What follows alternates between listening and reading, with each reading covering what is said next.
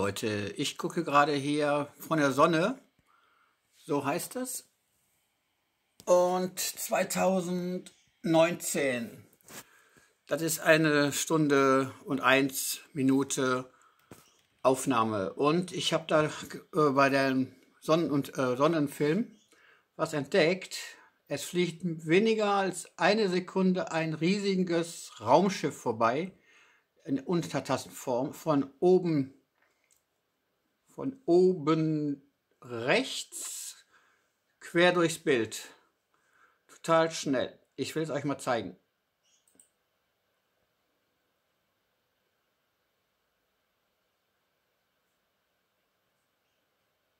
Ich weiß nicht, ob ihr es gesehen habt. Es flog total schnell durchs Bild.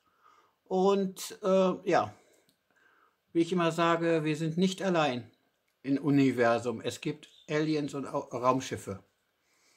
Und ich mache den Film auch später in Zeitlupe, dass ihr besser sehen könnt, wie das da vorbei huscht.